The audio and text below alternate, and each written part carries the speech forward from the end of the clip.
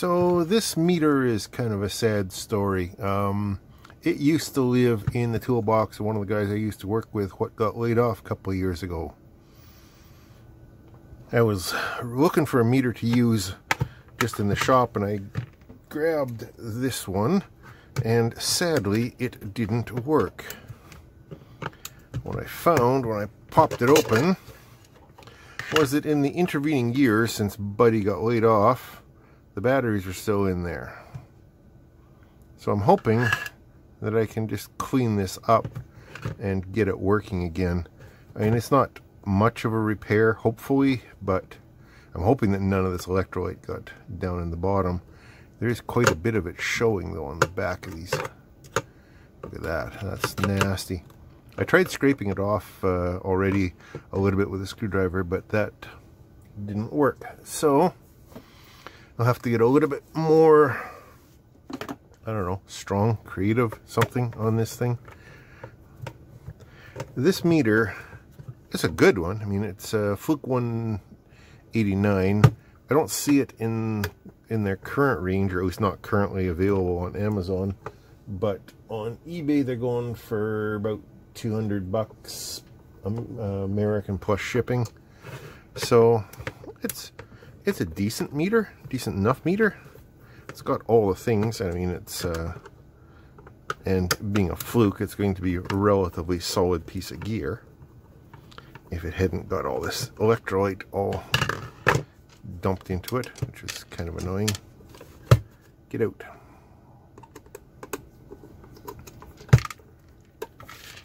Okay, so I'm gonna have to pop those fuses. I don't think so. Comes off here, the front or the back? Oh, perfect. Okay.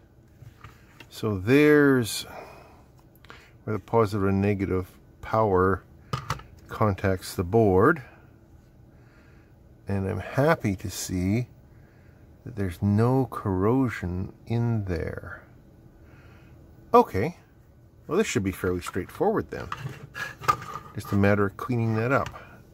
Now then, the electrolyte that this is, or was, uh, in an alkaline battery is, according to Wikipedia, potassium hydroxide, or at least that's what's going to be uh, um, leaked out of it. Uh, there's zinc and magnesium dioxide in there, and for the uh, two metals and potassium hydroxide as the um, as the electrolyte, the liquid. And potassium hydroxide, according to Wikipedia, is a relatively strong base. So to neutralize it, if there was any liquid kicking around, uh, you'd use an acid, a mild acid, such as vinegar which I've got there. And uh, potassium hydroxide is also soluble in alcohol, which I have here. I've got some cotton swabs. Um, North American folk would call them Q-tips. Uh, Europeans and people in other English-speaking countries that aren't North America, cotton buds or earbuds or something like that.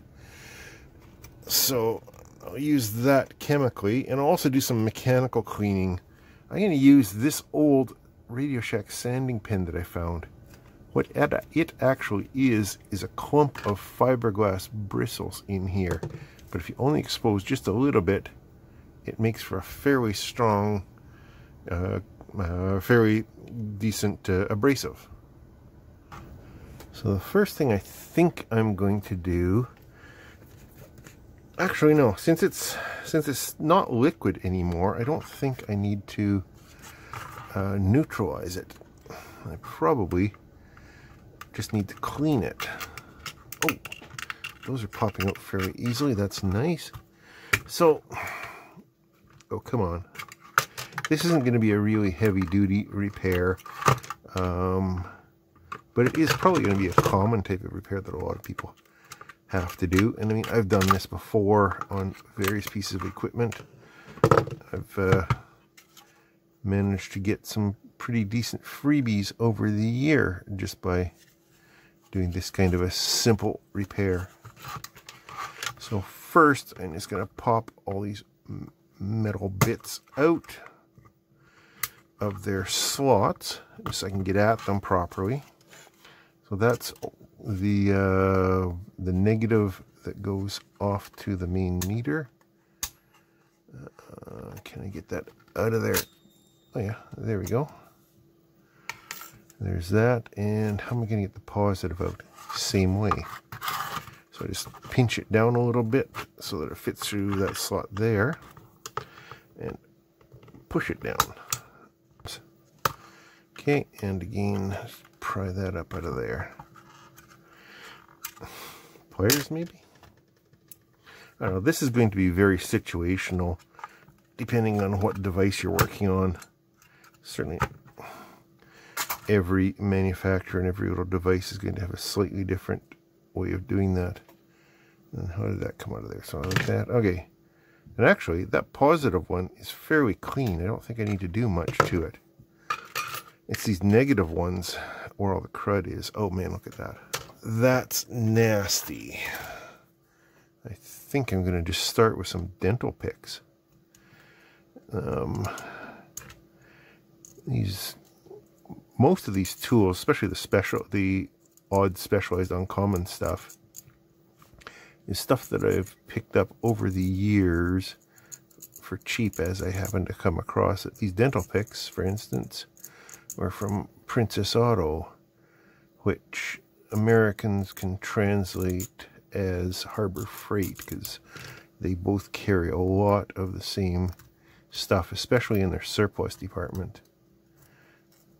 So I'm just going to mechanically remove as much of that as I can. Now then, let's see what happens if we put some vinegar on this. Obviously, I'm going to have to clean the, the acidity of the vinegar off later. But, that's taking some of it out anyways.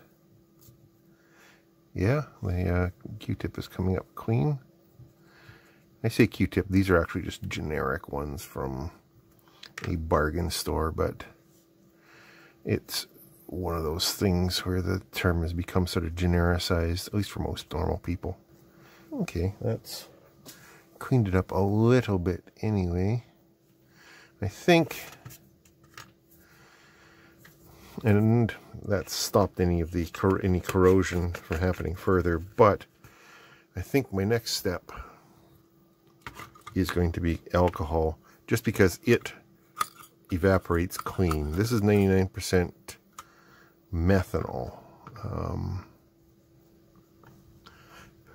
this is 6.4% ethanol, just for reference. So yeah, that's, um, but the 99% alcohol does evaporate clean and doesn't leave residue behind, which is nice. I could also use isopropyl, I just don't happen to have any. This methanol is sold in the paint section of the hardware store as paint thinner or paint uh, or for thinning other painting type stuff. It's also sold in the camping section as camp fuel. Um, the 70% alcohol uh, isopropyl is sold in drugstores and whatnot as rubbing alcohol, but that other 30% can contain oils or other things that can leave a residue. So I tend not to use it for cleaning unless I'm desperate. So that's better than what I started with. I am going to touch up this one just a little bit. That takes a lot of that off. Not the physical corrosion, but a lot of it. I'm going to see what's on here. You. Now then, for this little guy, I mean, I could use a file um, like the ones I used on those, the Dremel battery connections. These little bent tip files are called Riffler files. Um, they come in a variety of of shapes, um, and they're I primarily use those for modeling but uh, they can get into all kinds of weird little places. But since I got these out, I don't have to get into weird little places. I can use my little fiberglass pen. So you just stick out just the smallest amount and start scrubbing away. And it's fairly gentle, but it uh, also doesn't uh, doesn't mess around.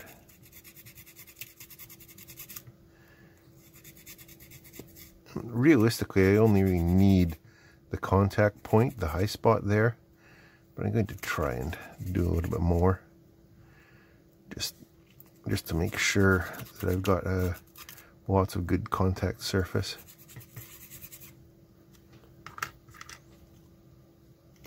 It doesn't take much out of this thing. I don't know I mean, so I got this at Radio Shack in Canada, which hasn't existed for over 20 years. I don't know where I would get one now. Um, uh, the, the, the file would probably grind through the plating on here, which is not ideal, although the corrosive has done that anyway. So I'm thinking now that the contact point, or the contact, which is just up on the top here, is in pretty rough shape, especially on this one. Gonna give it a little bit more dental pick action. Maybe a little bit more alcohol action. Just to clean away any of the stuff that I've loosened up. A little bit more of the fiberglass cleaning pin action. I think that's reasonable. Just knock all the dust off it with some alcohol. I'm hoping that that's all I need to do to revive this meter.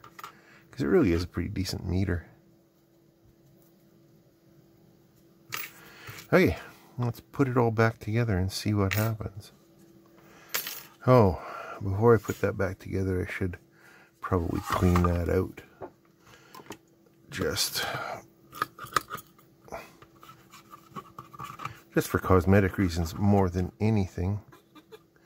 Oh, and I missed that contact too. Huh, why did I miss that?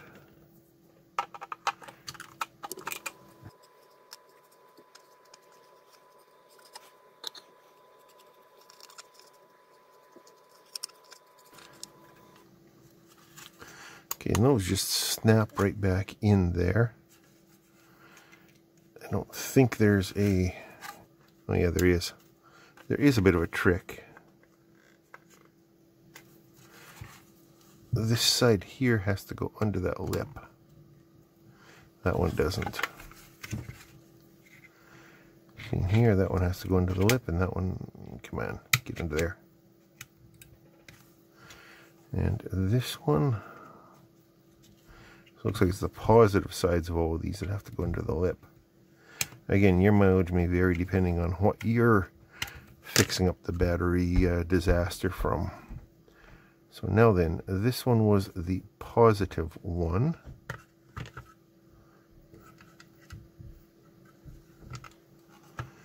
Which came out of there.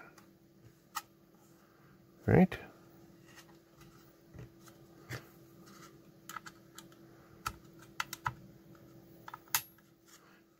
Click into place. Nice satisfying click. And this one would have been the negative one.